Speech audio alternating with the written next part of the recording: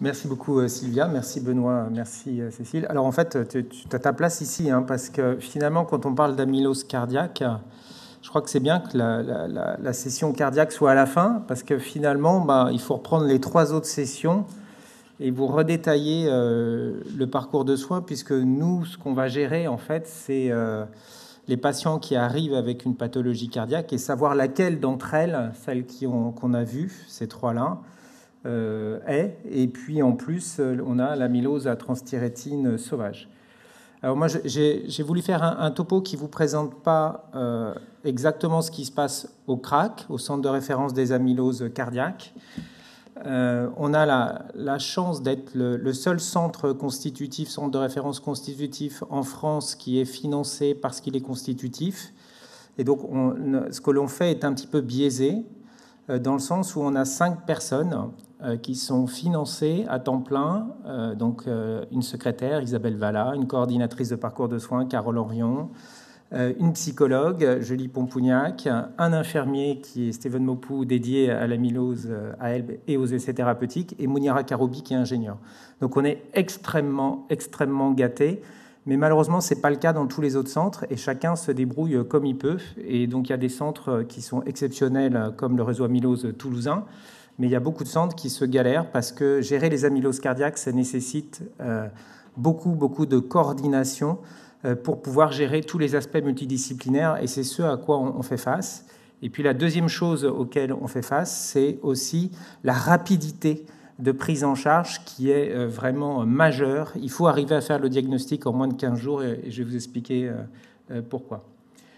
Alors voilà un petit peu, je vais vous réexpliquer diagnostic et parcours, et puis tout le travail effectué par les cardiologues que je représente euh, ce soir du, enfin, de ce jour du réseau amylose, euh, et tout ce qui a été mis en place pour essayer de, gagner et sauver des vies en fait. Alors en 2010-2012, euh, alors en 2010, je, ne connaissais pas l'amylose. J'avais appris l'amylose moi en tant qu'externe à l'hôpital de Bicêtre, et j'avais appris l'amylose héréditaire neurologique des Portugais. Et clairement, en cardiologie, euh, mis à part euh, Michel Slama qui travaillait déjà à l'époque euh, avec le centre de Bicêtre, aucun cardiologue vraiment ne prenait en charge et ne connaissait les amyloses. La TTR sauvage, ou dite amylose à, transthyrétine sénile, on est quand même en 2010-2012, hein, elle était absolument pas connue. C'est-à-dire que quasiment aucun cardiologue dans le monde ne savait ce qu'était cette pathologie. Il faut vraiment me croire, hein, mais c'est vrai on n'était absolument pas au courant. Et donc les seuls patients qui étaient vraiment pris en charge, c'était les amyloses à transthyrétine héréditaires neurologiques, diagnostiqués à Bicêtre et dans la filière neurologique, et qui étaient envoyés à quelques cardiologues euh, experts de cette maladie qui avaient ces patients neurologiques et qui essayaient d'adapter le traitement cardiaque, mais ils n'étaient pas confrontés à faire le diagnostic puisqu'on leur demandait de, les suivre et de les bilanter. Et puis, bon, il y avait bien sûr quelques amyloses à elles, mais globalement, quand un cardiologue voyait une amylose à elle, ou une amylose ou quelque chose qui ressemblait à une amylose, je pense que ça fera sourire Agnès, mais on l'a échangé de nombreuses fois cette phrase, euh, de cardiologues et de collègues qui disaient Ah, votre patient a une amylose à elle. Bon, bah, de toute façon, il va mourir dans six mois, donc c'est même pas la peine de me l'envoyer. Vous pouvez l'envoyer en soins palliatifs. Et c'est vraiment, euh, enfin, de nombreuses fois qu'on a eu euh, cette, réaction au sein de la communauté cardiologique dans, dans, ces années-là. Et bah, c'est ce qu'on a essayé de changer. Euh, sur ces 12 euh, dernières années. Donc voilà où on en était. En fait, il y avait quelques étoiles, quelques centres et des gens qui s'intéressaient en 2010. Et puis, bah, c'était un peu le néant, et malheureusement le néant pour les patients. Alors en parallèle de tout ça, il y a eu euh, bah, des, petites étoiles qui sont arrivées et on a eu notamment la chance à, à Mondor d'avoir une neurologue du centre de Bicêtre qui est venue et qui nous a apporté ces malades avec des amyloses à transthyrétine neurologique héréditaire et quand on a regardé ces malades, on s'est dit, mais on a les mêmes patients dans notre corps de patients insuffisants cardiaques, ils ont la même écho, ils ont la même IRM. Est-ce que ça se trouve, ce n'est pas des amyloses? Et c'est là, avec d'autres collègues en France simultanément et dans le monde, qu'on s'est rendu compte qu'il existait les amyloses à effectivement, avec atteinte cardiaque qui n'étaient pas diagnostiquées, et les gens mouraient d'insuffisance cardiaque sans qu'on ait fait le diagnostic. Et je pense que tous les témoignages que vous avez vus sont assez éloquents. Hein. Si le premier témoignage d'Alain, il n'avait pas été diagnostiqué, bah, il serait probablement décédé. Il a de la chance d'avoir tenu au moins deux ou trois ans son diagnostic. Et puis on a eu donc en parallèle le développement de ces outils, l'échographie, qui permet maintenant avec le strain d'avoir un aspect assez typique évocateur d'amylose, l'IRM cardiaque qui s'est beaucoup développé, où on peut voir le rehaussement tardif dans le myocarde, qui correspond à cette image blanche que l'on voit, mais à l'époque on pensait que c'était que de la fibrose, maintenant on sait que c'est de l'amylose. Et puis un outil qui n'était absolument pas pratiqué par les cardiologues et connu, qui était la scintigraphie osseuse, où vous voyez effectivement une radio de squelette, et on faisait ça. Ces examens étaient prescrits majoritairement par les oncologues et les rhumatologues pour voir des infiltrations osseuses. Et on ne savait pas pourquoi, depuis 40 ans, il y avait quelques patients qui avaient des, fixations cardiaques, comme vous pouvez le voir, avec le cœur qui, s'allumait, mais sans qu'on sache euh, ce que c'était. Alors les choses ont avancé rapidement avec des experts internationaux et puis bien sûr en France aussi, avec des collègues qui se sont intéressés en même temps que, nous tous, enfin que, voilà, ça fait quelques centres hein, quand même. Et euh, on s'est rendu compte que donc en cardiologie, les patients arrivaient donc finalement avec des symptômes d'insuffisance cardiaque, donc ils étaient insuffisants cardiaques, mais qu'ils avaient des imageries, des échos et des IRM différentes. Et en même temps, dans le monde, c'est euh, créer une communauté de cardiologues intéressés à aller plus loin et à pouvoir diagnostiquer ces amyloses. Et le premier travail qui a été fait, c'était en 2015. Donc vous voyez, c'était il y a sept ans. Hein. c'est quand même assez hallucinant de voir la vitesse à laquelle ça s'est propagé. Euh, on a fait cette, réunion euh, au centre du NAC, le National Amyloid Center à Londres, euh, menée par Julianne Gilmore. Moi, j'étais le, petit jeune à l'époque de, l'étude, donc on m'a donné la, joie et le plaisir de faire le graphe qui est là, qui était le, PowerPoint du design de comment arriver au diagnostic. Et grâce à ça, on a pu communiquer internationalement auprès des cardiologues pour avancer en fait dans, la prise en charge. Et donc il y a eu une implication progressive des cardiologues de toute la France, avec un appui très important des jeunes cardiologues qui s'intéressaient beaucoup à l'imagerie multimodalité, la scintigraphie, euh, l'IRM cardiaque, l'échographie, le scanner, etc., et qui ont vraiment boosté en fait les diagnostics. Une grande partie de ces jeunes sont d'ailleurs partis travailler dans les cliniques et ont adressé au centre qui était en train de se créer, Toulouse, mais il y en a un petit peu partout maintenant, Rennes, etc., et Mont-d'Or, les patients qui diagnostiquaient. Et puis après, on a réussi à éduquer les plus vieux cardiologues, parce que c'était vraiment un enjeu qui est complexe, parce que quand vous travaillez depuis 30 ou 40 ans en cardiologie, bah, vous dire qu'il y a une maladie que euh, vous ne connaissez pas, euh, qui existe et que vous l'avez jamais diagnostiquée, et, vous remettre en question, c'est quand même pas si simple. Et c'est ce qui, ce ce qui s'est passé. Maintenant, à peu près tous les cardiologues de France, mais également les cardiologues des centres experts, se sont mis à comprendre l'amylose, à la diagnostiquer. Et donc, euh, on est encore en phase d'apprentissage. On a ouvert à la cardiologie la prescription de, ces examens. Euh, maintenant, les cardiologues prescrivent beaucoup, beaucoup de scintigraphie osseuse qui permettent de faire les de diagnostic des amyloses à transthyrétine avec atteinte cardiaque. Et on essaye maintenant de les apprendre à prescrire aussi les, chaînes légères, l'électrophorèse, les, l'immunofixation, le dosage des chaînes légères et la protéine Ben Jones, et maintenant à l'analyser une fois qu'ils l'ont. Alors, les choses sont en train d'avancer. Je vais vous expliquer un petit peu tout ce qu'on a fait pour arriver là. Ce sera surtout vous montrer un petit peu ce qui est fait et vous montrer qu'il bah, y, a, y a de l'espoir à partir du moment où tout, le monde euh, s'y met. Alors ça, c'est le papier Toulouse dont Antoine nous a déjà parlé, mais vous voyez qu'en fait, euh, il faut quand même 27 mois pour être diagnostiqué. Je ne vais, pas, tout redire, mais qu'il y a un retard euh, diagnostique. Ça, c'était sur l'équipe de Toulouse, mais on le voit vraiment partout. On a regardé avec Mounira aussi, alors c'est un diagramme qui est peut-être un petit peu compliqué, mais c'est simplement, vous voyez les trois types d'amylose et sont reliés les symptômes cardiaques ou extracardiaques au délai d'apparition avant le diagnostic. Donc ce que vous voyez, ce qui est assez intéressant, ici vous avez l'amylose elle, avec les symptômes cardiaques qui sont là, les symptômes extracardiaques, et puis là vous voyez quand ces symptômes arrivent avant le diagnostic. Et vous voyez donc que dans l'amylose elle, la majeure partie des symptômes arrivent dans les deux ans avant le diagnostic. Et ça c'est un point qui est majeur, qui explique le témoignage de cette dame, c'est qu'en fait on a très peu de temps pour diagnostiquer les amyloses à elle. C'est-à-dire que ces patients-là, s'ils ne sont pas pris en charge, ils vont tout simplement mourir. Et donc, effectivement, c'est notre enjeu, c'est euh, pouvoir les, les, diagnostiquer, les traiter le plus rapidement. Pour les amyloses à transthyrétine euh, sénile, vous voyez que l'affaire est tout autre. Vous avez euh, là également donc, les atteintes cardiaques en haut, les atteintes extracardiaques en bas. Et vous voyez qu'il y a un grand cercle rose en bas, c'est que ces atteintes, elles vont arriver plus de 5 ans avant le diagnostic et avant les signes cardiaques. Donc on se retrouve dans une maladie où les patients vont développer des atteintes extracardiaques, qui sont donc des infiltrations euh, préférentiellement au niveau des téguments, canaux carpiens, canal lombaire, canal cervical. Euh, maladie des doigts Ressaut avant l'atteinte cardiaque. Et là, on pourrait encore gagner du temps à faire le diagnostic. Mais pour autant, en France, on met encore 5 ans à faire le diagnostic alors que ces symptômes extracardiaques sont apparus. Et puis pour l'amylose euh, héréditaire, euh, vous voyez qu'en fait, euh, d'abord, il y a beaucoup, beaucoup de symptômes différents. C'est un, phénotype qui est très hétérogène, avec plein de symptômes différents qui font effectivement perdre le diagnostic et, et vraiment contribuent à cette errance diagnostique. Et puis vous voyez que c'est beaucoup plus, euh, beaucoup, plus, euh, beaucoup plus variable en fait. Et donc euh, on rate probablement encore les diagnostics. Alors l'implication des cardiologues, elle s'est fait aussi en même temps que l'avancée des données de recherche. Là, je vous ai mis, les médecins, on utilise une base de données qui s'appelle PubMed pour pouvoir avoir les, références en tête. Et donc, vous voyez, en 2098, il y avait 2021 articles publiés avec le terme amylose. En 2000, il y en avait 601. Donc ça, c'est valable dans le monde entier. Hein. C'est vraiment la référence pour nous, euh, les docteurs.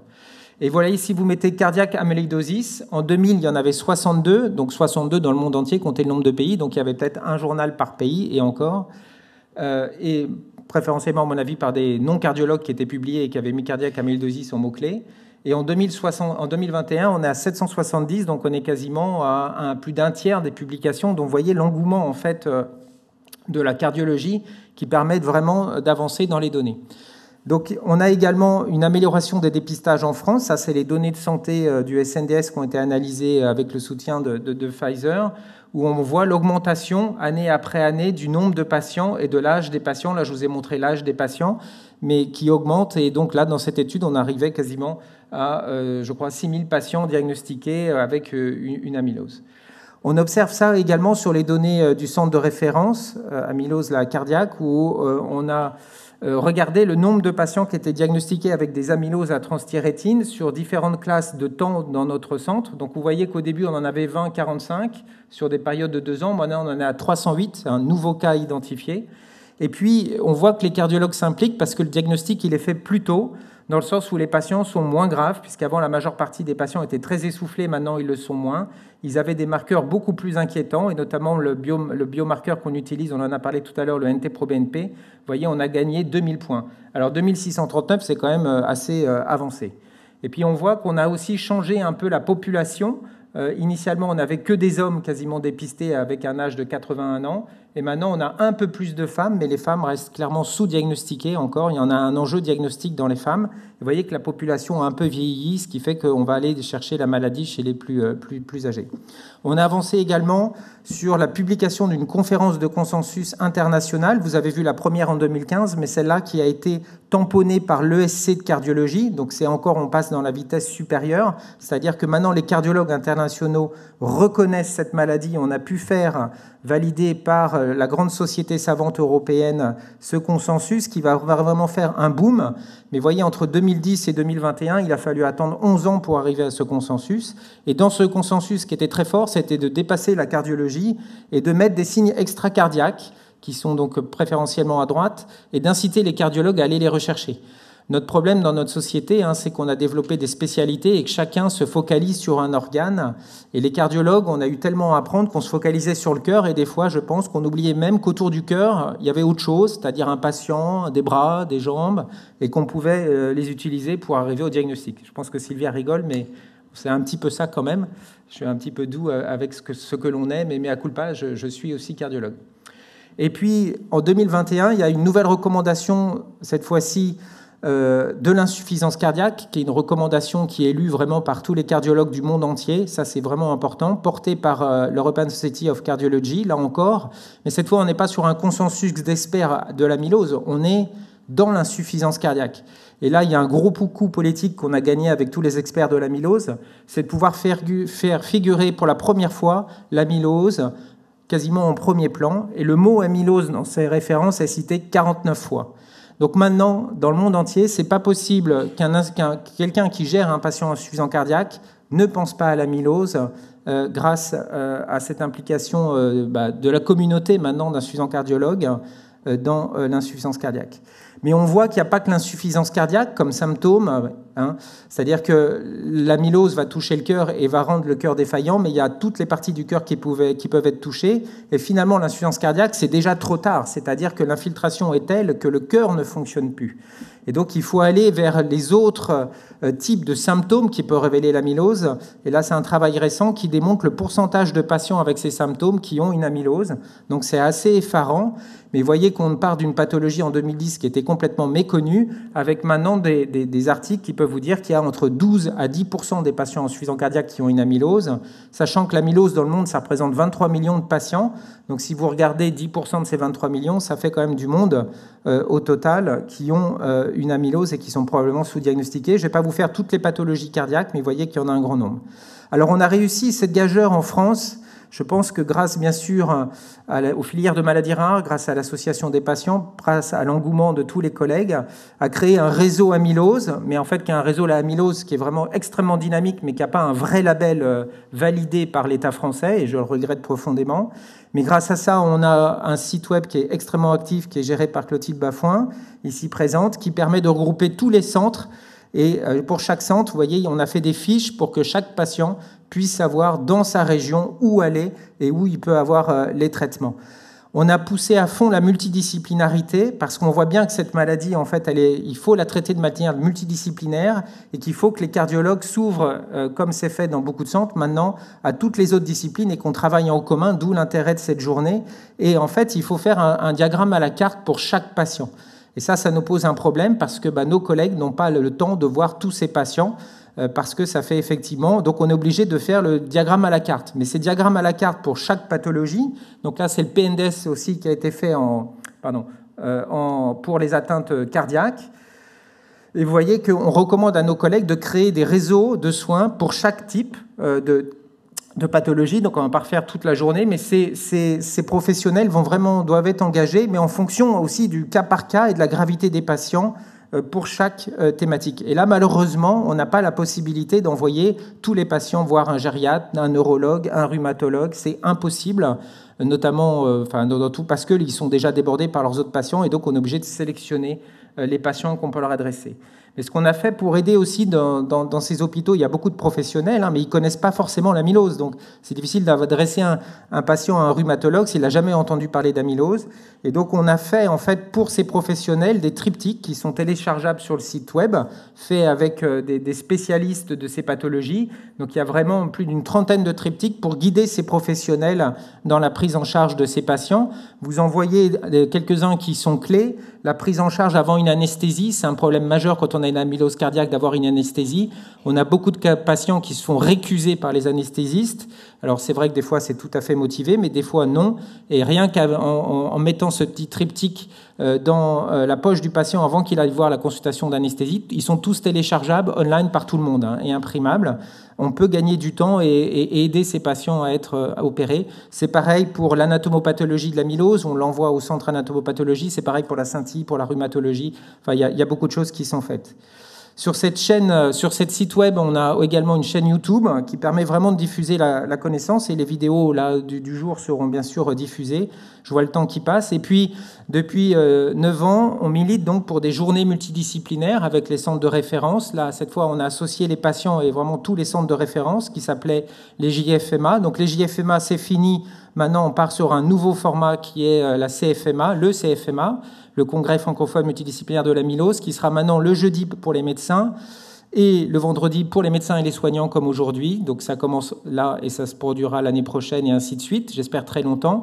On a fait un masterclass amylose cardiaque pour former les experts des centres. Ça, ça a lieu au mois de décembre, où c'est à peu près 60 experts cardiologues de tous les centres qui viennent euh, discuter euh, bah, de, chaque chose. Et donc l'année prochaine, ça sera tous les cas diagnostiques difficiles et la prise en charge difficile.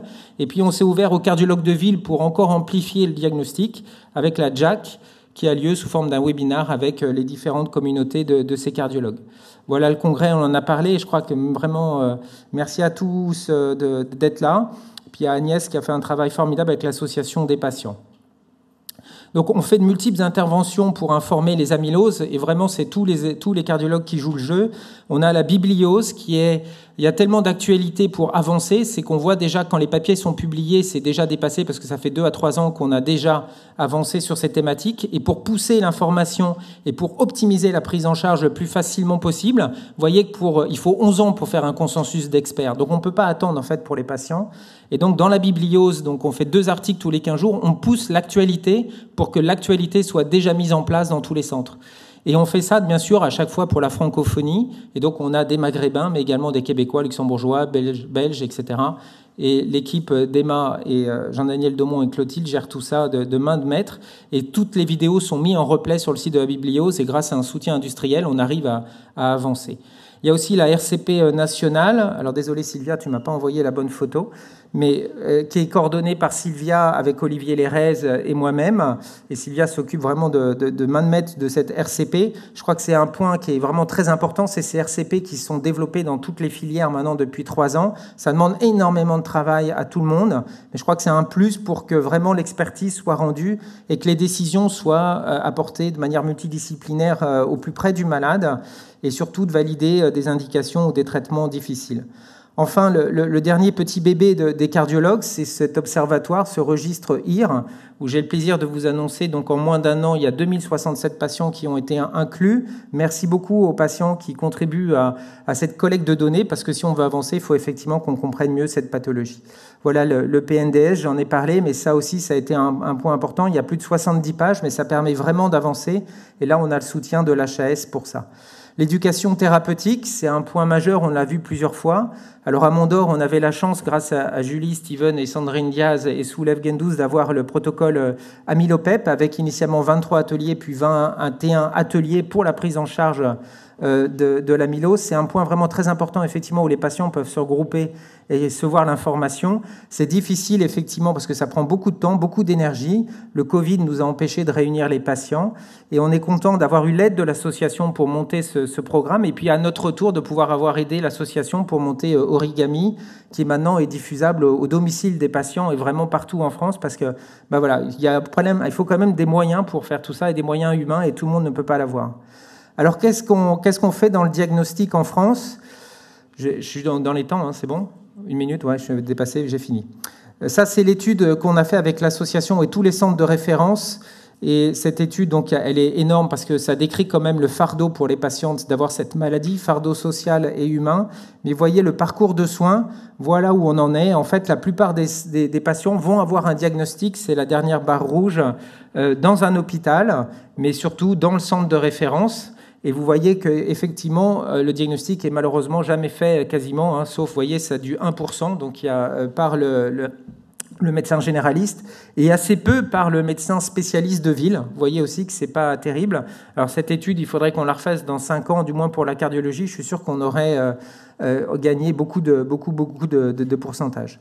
Alors le futur, parce qu'il faut parler futur, vous voyez l'avancée, c'est quand même un message d'espoir, hein. on avance.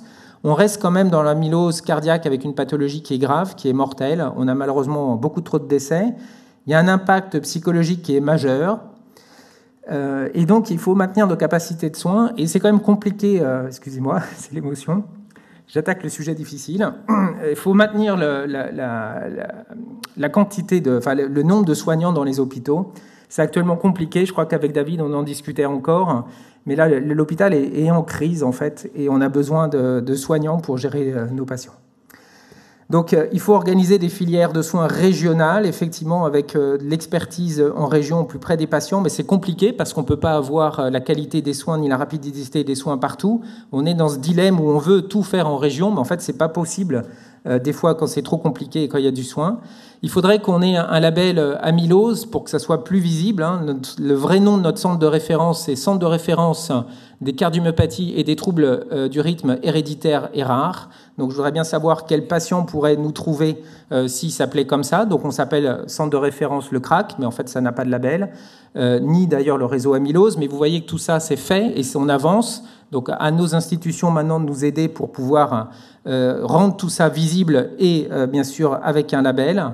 Il faut qu'on s'organise parce qu'on a un prochain enjeu, on l'a vu avec tous les traitements injectables qui arrivent, et Pauline va nous le dire, on n'est pas actuellement en capacité de pouvoir injecter tous ces patients avec des amyloses TTR. Si on passe aux patisiran, aux vutrisiran, à l'éplontercène ou même aux immunothérapies en TTR, nous ne sommes pas en capacité de traiter les patients. Nous ne sommes pas en capacité de traiter les patients en France. C'est impossible vu le nombre de patients avec des amyloses cardiaques. Donc il y a vraiment une réflexion. On n'a pas les structures, on n'a pas les moyens, on n'a pas le personnel. Voilà. Et puis bah, il faut développer bien sûr l'approche psychologique euh, pour les patients, pour les soignants. Vous voyez, je, suis en cours de traitement, je vous rassure. Euh, mais euh, c'est vraiment très important. Voilà. Et puis bah, en 2022, peut-être qu'on pourra changer la, petite phrase que je vous ai dit, je vais arrêter là, mais finalement, bah, je pense qu'on est en train d'y aboutir. On n'a pas encore complètement, encore vraiment traité tous les cardiologues, mais la plupart maintenant quand même réagissent très vite. Et vous voyez la, la réflexion de l'interne à, ce témoignage. Oh là là, il a posé la sonde d'écho, il a dit on vous a fait une BGSA, bah, c'est gagné quoi. On avance. Merci beaucoup.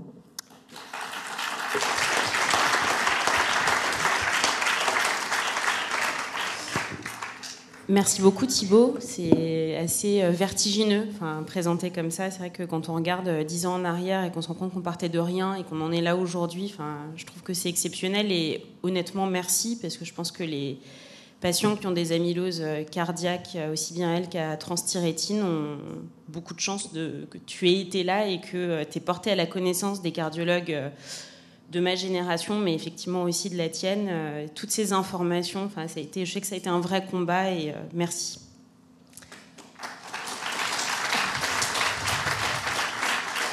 On n'est pas tout seul. Hein. Il y a tout un Olivier Lérez, Dania Motti, euh, Erwan Donal, voilà. Mais on, bon, on a pas mal bossé, c'est vrai. Effectivement. On peut, on peut se congratuler. Est-ce qu'il y a des questions dans l'auditoire? Alors, dans le chat, pour euh, attendre, il y a beaucoup de personnes qui demandent tes diapositives, mais pas de questions. Entre autres pour des oraux euh, au mois de juillet, donc il faut les donner rapidement. Merci pour votre euh, présentation. Moi, je suis cardiogériatre au CHU de Poitiers, donc je travaille enfin, avec les cardiologues sur l'amylose. Et j'ai une question qui va rejoindre les deux topos qu'on a fait, donc celui que vous venez de faire, celui sur l'amylose à elle, Qu'est-ce que vous faites des patients qui ont des amyloses TTR avec des MGUS associés euh, quand on ne peut pas faire de biopsie cardiaque Parce que souvent, ils sont très fragiles? Est-ce que vous avez une prise en charge en particulier? Alors, ça, c'est quelque chose sur lequel on essaye effectivement d'avancer avec tous les collègues. Euh, alors, c'est vrai qu'à Mondor, on a au CRAC, euh, que j'ai plaisir de coordonner avec Sylvia, on a de plus en plus de patients qui arrivent avec des erreurs diagnostiques, en fait. Voilà. Donc on a des patients avec des amyloses à transthyrétine qui ont été traités sous chimiothérapie, alors c'est une minorité, hein. et on a des patients avec des amyloses à L qui ont été traités par euh. Ça, pourquoi? Bah Parce qu'il y a cette, combinaison, comme on est dans une population âgée, des gammapathies et de l'amylose à transthyrétine, et que c'est difficile de faire la part des choses, et que le diagnostic, il revient au niveau anatomopathologique. Donc nous, dans notre centre, on fait la biopsie des glandes salivaires de manière systématique, et après, si cette biopsie n'a pas répondu, on fait une biopsie myocardique. La biopsie myocardique, on la voit comme euh, quelque chose de très important, puisque si on va mettre un traitement, c'est là où le problème éthique se pose chez les patients fragiles, c'est est-ce que l'on mettra un traitement chez ces patients? C'est là où finalement est la question. C'est-à-dire, est-ce que si on fait la biopsie, le patient sera traité par une chimiothérapie, une immunothérapie s'il a une amylose à elle, ou est-ce qu'il sera traité par tafamidis et est-ce qu'on tiendra l'indication du tafamidis? Et dans ce contexte-là, eh ben, on ne peut pas se passer de la biopsie myocardique. Et si la réponse est on ne mettra pas de chimiothérapie parce qu'il est trop fragile, alors on n'ira pas et on ne fera pas la biopsie myocardique et on n'aura pas de diagnostic final. Si on considère qu'il doit avoir une chimiothérapie pendant 9 mois, voire maintenant pendant 2 ans, avec des produits qui sont cardiotoxiques, qui ont des complications, c'est pas une biopsie myocardique qui doit nous effrayer dans l'intérêt du patient. C'est vraiment ce, que je, pense. Hein. C'est-à-dire traiter une amylose elle sous tafamidis parce qu'on n'a pas voulu faire de biopsie, je, pense que c'est très discutable. Voilà. Mais c'est notre avis. Alors, euh, voilà, vous compris, je suis un peu mais c'est ce qu'on porte en tout cas comme message. Et après, la question qu'il faut se poser, c'est le parcours de soins. C'est est-ce qu'on a effectivement dans notre centre des cardiologues qui font des biopsies myocardiques et qui ont l'expérience? Est-ce qu'il y a un atomopathologiste qui est derrière et qui peut faire l'analyse correcte? Et c'est vrai que bah, quand nos collègues disent, nous, ça fait 20 ans qu'on n'a pas fait de biopsie myocardique, est-ce qu'on peut vous l'envoyer? Le patient, il reste deux jours, trois jours dans le service, il arrive, il a sa biopsie, il ressort le lendemain et on fait la biopsie, on envoie le résultat et le patient est traité dans son centre. moi, à mon avis, il faut pas. euh, voilà. Si vous voulez le traiter, si vous allez le traiter, que ce soit par tafamidis ou par chimiothérapie, on est, il faut un diagnostic anatomopathologique s'il a bien sûr hein, euh, la, la gammapathie plus euh, une suspicion d'amylose TTR, c'est-à-dire globalement une fixation à la scintille. Il faut savoir que dans le dernier papier qui est sorti, il y a 39% des amyloses AL qui fixent à la scintille, dont à peu près 15% qui sont en grade 2 et 3. Donc on ne peut pas ne pas faire le test de gammapathie. S'il y a les deux, on ne peut pas avancer dans le diagnostic. J'espère avoir répondu à votre question. Après, je sais que c'est un peu, des fois, choquant de dire mais pourquoi faire une biopsie cardiaque à un monsieur de 85 ans? Bah, Si vous allez le traiter, voilà. Si vous le traitez pas, bah oui, éthiquement, c'est pas licite d'aller l'embêter à, à faire une biopsie euh, cardiaque. Qu'il y a une autre question? Il y a très peu de complications des, des- des biopsies cardiaques dans les amyloses. hein. Quand ils ont le cœur épais très rigide, ça se complique très très peu. Il y en a, mais ça se complique très très peu. Et le bénéfice pour le patient est majeur. Moi, je me permets parce que du coup, on m'avait donné le micro avant. Euh, une petite question, du coup, très concrètement, les, les cas qui passent en RCP euh, national, moi par exemple, enfin, quand j'étais à Rouen, on n'en a jamais présenté, ouais, j'en ai jamais encore présenté. Il y en a qui ont été présentés plutôt à la RCP euh, euh, nationale qui est faite avec euh, le docteur Jacquard, enfin, Ouais. professeur Jacquard à Limoges. Et pour ceux qui sont, euh, qui, en ce qui concerne plutôt l'amylose à TTR, quel est le profil un peu des dossiers qui sont euh, présentés? Alors, on discute de tous les dossiers. Évidemment, il y, a, il y a- il y a chaque RCP dans chaque filière. Donc, en fait, ça dépend quelle est la question. Si c'est la prise en charge cardiaque, voilà. Dans no- notre RCP national, on a également les hématos, les néphros qui sont là. Donc, on peut discuter effectivement de patients, mais c'est préférentiellement les cardiaques et notamment les cardiaques sévères. À Mondor, on a effectivement une expérience, comme l'a dit Muriel, assez importante de 3A et de 3B. euh, parce que les patients arrivent avec cette présentation cardiaque redoutable et effectivement nos protocoles de chimiothérapie, notre prise en charge est probablement différente que dans beaucoup de centres, bah parce que euh, Steven Mopou en sait quelque chose. On fait les chimiothérapies en cardiologie, on doit stabiliser les patients au maximum avant de leur lancer le traitement parce que ces traitements ont des conséquences. Donc je crois que ça vaut le coup de contacter la RCP nationale et Sylvia pour présenter des patients avec amylose AL 3A, 3B pour discuter de la chimiothérapie avec nos hématologues et de la surveillance cardiaque euh, simultanée. Pour les amyloses TTR, ça va être beaucoup de problèmes diagnostiques. Donc ces fameuses biopsies qu'on valide en RCP en disant quand c'est problématique, oui, il faut faire la, la biopsie parce qu'on ne peut pas déterminer euh, quel traitement on va donner au patient si on ne sait pas quel est son type d'amylose.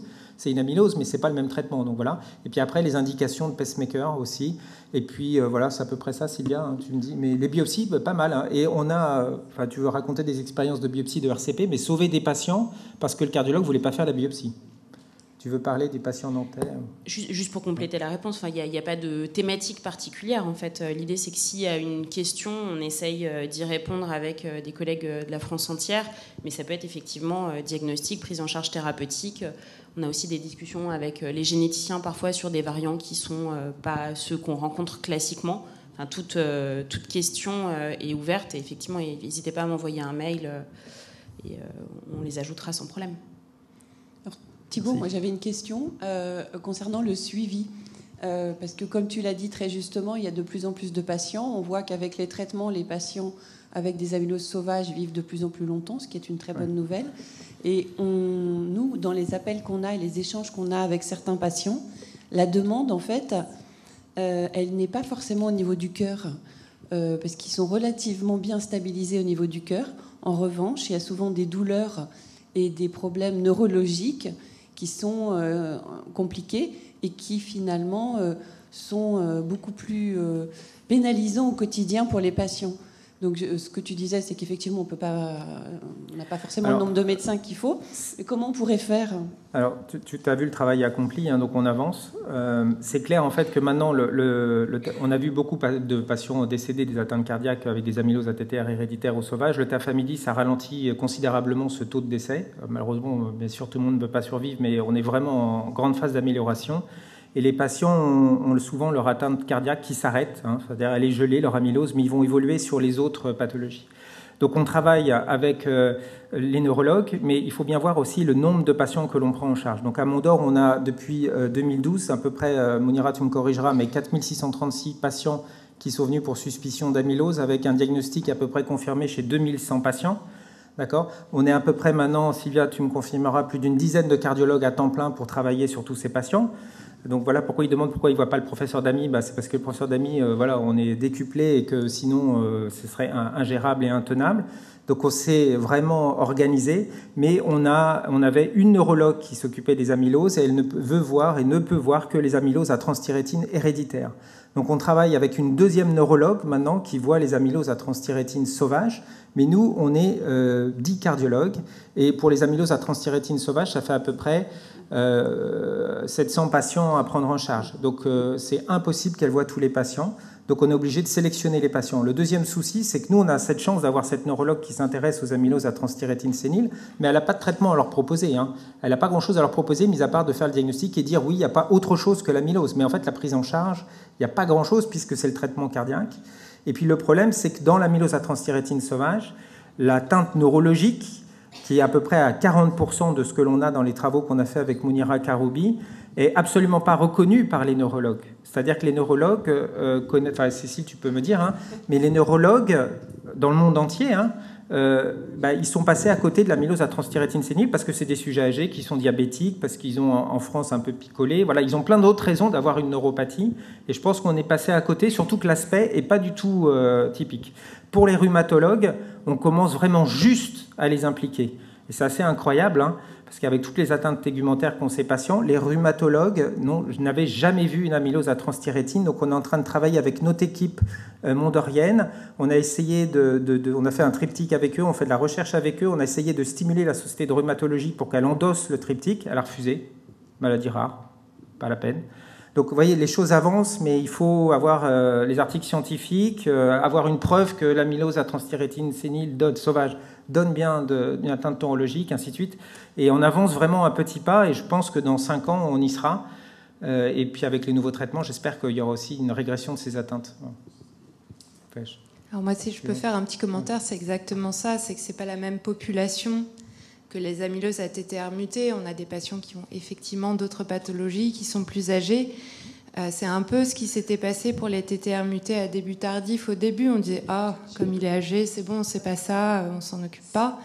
Effectivement, là, il y a des choses à comprendre et il y a surtout l'imputabilité de l'amylose à prouver dans la neuropathie. Et ça, ça ne se prouve pas en deux secondes. C'est effectivement compliqué et je pense qu'il va falloir beaucoup de travail pour, euh, pour le montrer. Il faudrait faire des biopsies neurologiques à tous les patients pour pouvoir prouver qu'il y a des dépôts euh, dedans. Voilà. Et ça, en fait, ça pose des problèmes, surtout à des patients en insuffisance cardiaque, d'aller leur biopsier les bouts de jambes parce qu'il y a des problèmes de cicatrices, etc. Mais c'est ce qu'il faudrait faire au niveau de la recherche pour pouvoir le démontrer. Et après, on n'aurait pas de traitement puisqu'il n'y a aucun traitement qui a été validé chez ces patients mis à part les bah, traitements Il faudrait peut-être euh, mettre des outcomes neurologiques dans les futures études, par exemple. Mais effectivement, la clé, en théorie, ce serait la biopsie euh, de nerf pour prouver euh, bah oui, qu'il y a de l'amylose dans le nerf. C'est l'équivalent de la biopsie myocardique. Merci beaucoup. On va peut-être avancer.